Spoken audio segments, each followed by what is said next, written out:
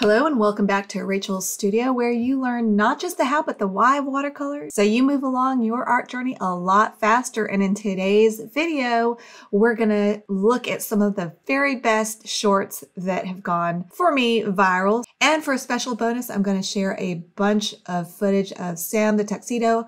I think this is the best tutorial I've ever made and it's been really popular with my Patreon students. So I want to share a little bit more of Sam who is a tuxedo cat so be sure to watch to the very end where I will share how to paint a tuxedo cat in watercolor. So let's go ahead and get started. You're going to love this new watercolor trick I've been trying out. I want to show you some tape techniques. I recently was reading International Artist Magazine. In the watercolor section, John Lovett was talking about using tape and I was also noticing Thomas Schaller, and he's also very active on Facebook. I was noticing he used these really interesting lightened strips of elements in his composition, like strips of light. I asked him how he did it. He said lifting. I dug through some of my old paintings. If there were any paintings that I thought would lend themselves well to demonstrating this, what you're gonna need is tape and magic eraser. So the original is the one that doesn't have anything added to it. So you can scrub and lighten with this. So the main idea is put tape down around the area you want to lighten, scrub it with a magic eraser, blot, and it'll lighten that area that you taped off. You know you don't need to buy a bunch of paint tubes, right? Here's why. Yesterday, I compared two grays, neutral tint and Payne's Gray, which as you learned are just convenient mixes of paints you probably already have, including lamp black and phthalo blue. Because both Payne's Gray and neutral tint contain lamp black and phthalo blue, I'm gonna kill two birds with one stone and recommend you not buy these extra paint tubes, but just mix your own grays with that lamp black we know and love like I used in this bunny painting, and avoid phthalo blue because it is staining and it's hard to use my favorite lifting techniques like I often do with staining paint. The only time I like to use phthalo blue, by the way, is when I want to get a lot of cauliflowers, like in this gosh awful ugly Christmas painting where I wanted a snowy background. Instead of a mix with phthalo blue, I prefer to mix in my favorite non-staining blues like ultramarine blue and cobalt. So my conclusion for you is skip buying these convenience mixes of Payne's Gray and neutral tint and just make your own superior anyway mixes. Hope that helps. Are you having trouble getting your subject to stand out? Try using contrast. This is a light green bird. So in the background, I want a darker color and I want a color that's across the color wheel from green, which I chose purple.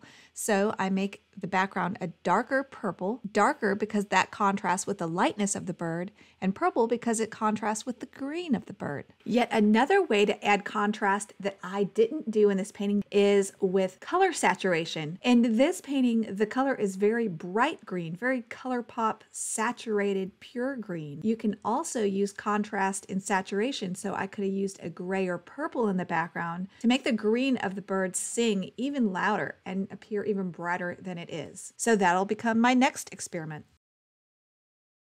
My favorite red, be sure to watch my video, my 10 favorite colors that I cannot live without, which you see here. One being M. Graham, Naphthol Red. And one of the things I love about this paint is it has this beautiful diffusion. So it just seeps into everywhere. Like if I put a big puddle of water here, watch what happens if I drop it into this puddle. It explodes.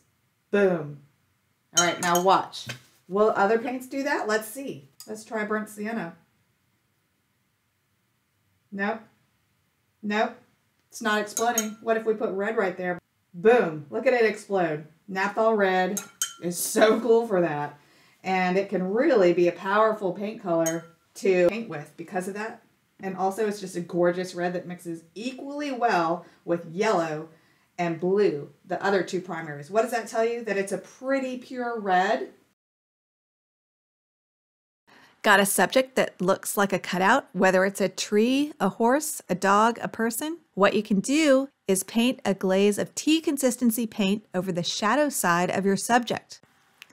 Remember also that your painting has to be completely dry before you paint over it with a tea consistency glaze like I'm doing here. Now it doesn't have to be blue, but in this painting I used blue and I painted over the right side of the dog, which in the reference photo is already in shadow. So this accomplished two goals. One, it helped tell the story of the light and how the light is hitting the dog. And two, it helped make my dog look like less of a cutout and more integrated into the painting. Someone recently asked me if you can get the fur out effect only lamp black does if you mix it with other colors. The short answer is yes-ish. It's not as dramatic, but I love the subtle effects I get mixing lamp black with ultramarine blue and Winsor violet for this tuxedo cat I'm painting as a start to finish real-time tutorial for my Patreon members. First, you see me getting the area to be painted with clear water to set my watercolors up to paint themselves. Then I drop in Winsor Violet, then Ultramarine Blue, then add cream consistency lamp black and allow them all to mix together on the wet paper. But if you follow me, you know I love what I call the buckling stage where the paper starts to buckle from absorbing water and I like to splat water to get dreamy cauliflower effects. I did that here and look at the drama it adds to the cat's fur. I pushed it even further by dropping in Winsor Green Gold on the cheek and eye. Now look how gorgeous that is.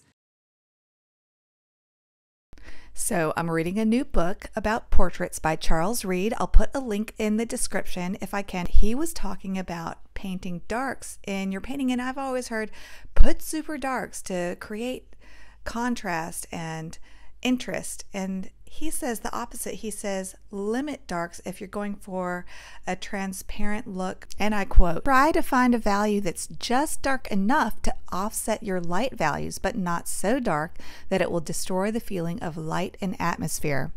I love that. So I used a lot of super darks in this painting, and it definitely has a certain look. In this painting, I limited my darks very much and it has a very atmospheric look. So that kind of applies to those paintings. And then for this painting that I'm working on now, it's a commission of a tuxedo cat, a black and white cat. So I am experimenting with can I use darker colors of purple and blue to make to deceive the viewer's eye into thinking they're seeing a very black and white cat. But my use of full on black is very limited to the most important areas like around the eye where I'm creating really high contrast around the eyes, but the rest is a lot more colorful and a lot less super dark black. They are called wisp brushes, but this is a wisp brush, which is great for painting a lot of natural textures. Let's see the wisp brush in action. So here's my wisp brush and I'm just painting on some fur. Sometimes I use it in a flat orientation and sometimes I use it in a side orientation to get different textures. A wisp brush is also great for painting textures like grasses, which are very similar to fur if you think about it. So here I'm painting some grasses with some green paint and it just looks so natural and I just love the effect that this wisp brush gives. It's also known as a rake brush. They sell these in sets on Amazon. You can find them in pretty much any art store. So I hope you will enjoy adding this to your arsenal of paintbrushes that are really fun to work with.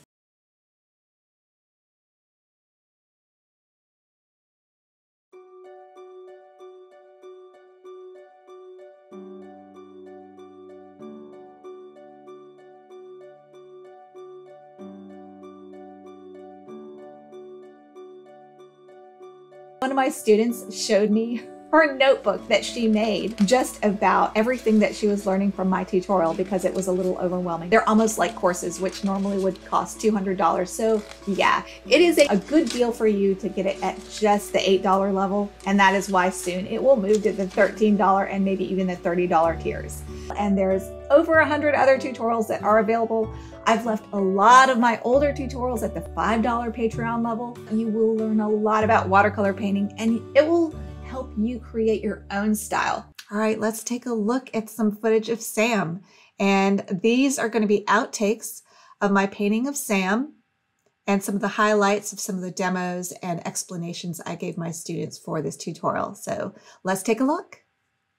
I think my favorite thing about this painting was the underpainting. And I did a whole video last week about underpainting, so I will link that here and just know it will not take you out of this video.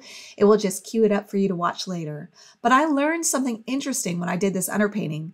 Colors that normally would create mud if you mix them together can make magic if you mix them optically. What does mix optically mean? Well, in watercolor painting, it means painting a glaze, letting it completely dry, then painting another color over it and let it completely dry. The effect is much like the color mixing you would get from laying different colored pieces of saran wrap on top of each other. Instead of muddying each other, somehow they just enhance each other, even if they're almost perfect complements. For example, look at how I did this after I painted the first layer on Sam, then let it dry. Purple and green are not perfect complements, I know, but they are still across each other on the color wheel, meaning if you mix them together, it would be a muddy mess. But look what happens when I paint green over this purple underpainting. It just seems to sparkle. It just looks so nuanced and beautiful. Another favorite part for me of this underpainting was playing with this Holbein opera color, which is fugitive and must be sprayed with either UV fixative or framed under UV protecting glass. But I love how this opera really enlivened this painting. Another subtle thing I did with Sam to make him look extra dreamy is to paint light clouds of tea consistency paint over several edges, including the bottom left shoulder area, over his ears, and along the bottom of the painting to soften and dreamify everything. One way I did this too was spray it. Let's take a look at some footage from my Patreon tutorial of how I softened and dreamified one edge. A little fade out look just naturally is there. And then I'm going to let this set some, right? And then just spray some of this to maybe soften some of it. Because this is an unimportant area and we need some dreamy edges. So I'm going to let that do whatever it wants to do. This is where I have a sizing issue right here where it's really bleeding out a lot. You can see the irregularity in my paper, unfortunately. And I had a little bit of sizing issue, but I'll go in later and add a little more paint over it to kind of cover that up. Oops. to make it look more natural, I'm just going to shake it a little, but I want to let the paint do what it wants to do there. So I did a lot of extra demos and explanation. I call this for my Patreon tutorials, I'll, I call these my highly edited tutorials, which I share at higher level tiers, including my highest tier, which is a $30 tier, where I share uh, professional level, gallery level paintings that have gotten into national shows, which right now I only have two paintings, but I hope to continue to add to that mix. And I might eventually put Sam in that category because this is such a good tutorial. Let's look at a few more outtakes from this tutorial. All right, I'm going to show this next section of footage sped up once and then we'll watch it again in real time. But I just wanted a little extra time to explain what I'm doing. I'm using my six round, that might even be my four round. And the area around the eye is extra important because that is where your viewer is going to look the most. So you really want your details on point. You want everything to look really good around your eye. So what I did first was I pre-wet the area with clear, clean water. And what that does is it allows you to float in the watercolor paint and it kind of blends itself and looks softer. And what I was noticing about the black right above the cat's eyes, it looks really velvety and smooth and super dark. So I wanted this area to look really smooth and super dark. So I'm putting in a pretty rich milk consistency uh, background color and underpainting. This will be the underpainting of blues and purples, milk consistency. You almost can't go too dark here because we're going to put more black. And here I'm floating in some cream consistency lamp black right over that damp paper. And the reason why I did that is I just wanted to look really velvety above the eye, just like it does in the reference, and then putting tiny little details under the eye area and paying attention to the direction of the fur and painting in the direction of the fur and about the length of the fur is about how long your brush stroke is going to be. So just pay extra attention around the eye because that is where your viewer is going to look. And I always like to connect the pupil with the eyeliner. So notice how I made the pupil touch the top of the eye. I almost always do that. It almost always looks better so the cat doesn't look like a zombie. Cats can look like zombies really fast if you don't do that. And then I put a little black eyeliner on the bottom and connected that to the bottom bits of fur. So connection is really important. For the next 20 minutes, I created extra footage demonstrating how to mix water with the paint to get the correct paint to water ratio for the desired darkness when painted on the paper. My mixing went a little bit off camera, so I wanted to make extra footage of me mixing so you guys could see more clearly what I was doing as far as mixing is concerned. For those of you who are super beginners, the more water you add to your paint, the lighter it will dry. You'll hear me say tea consistency, milk, and cream consistency. And what I'm referring to is how much water I've added to the paint. Tea consistency paint has the most water added and results in the lightest colors. And you'll see me tilt the palette and the water runs or almost runs. And then milk consistency has less water added, but it's still pretty watery. So when you tilt your palette up, it doesn't happen perfectly every time, but for the most part, it will bead and maybe drip a little bit. And then cream consistency paint just has a tiny bit of water. It does need a little bit of water added, but when you tilt your palette up, it won't run at all. And when you paint with cream consistency paint, it results in dark, rich colors. Thank you so much for joining me for this video. If you would like to watch more of these paintings more in depth, be sure to join my Patreon. And remember, if you join for a year, you can get more in-depth art critiques and you can also get critiques free by joining my Facebook group. And if you ask for feedback, my members and I will give you ideas on how to improve your paintings if you ask for it. So I would love to have you join there.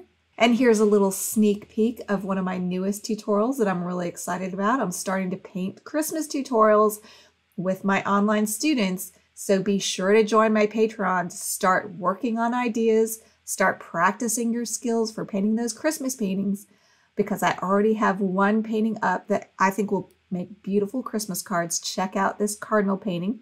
And yes, I did get footage of my cardinal painting with cardinals outside my window. And how adorable is this? This baby cardinal begging for food. But anyway, yes, I'm chasing butterflies now, so I better go. but thank you so much for joining me for this tutorial. And until next time, go watercolor your world. Bye, everybody.